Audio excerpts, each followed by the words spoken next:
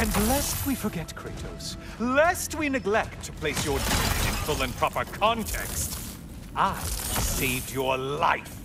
Me! And you literally tore off my head for my troubles. Imagine if all your new friends knew how you used to treat your old friends. Of course, you're not the same man, right?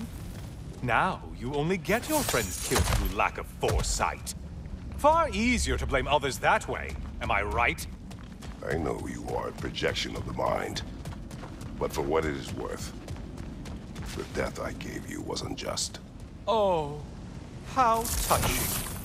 Yeah, not actually worth the spittle it took to mumble that out. Do not do that again.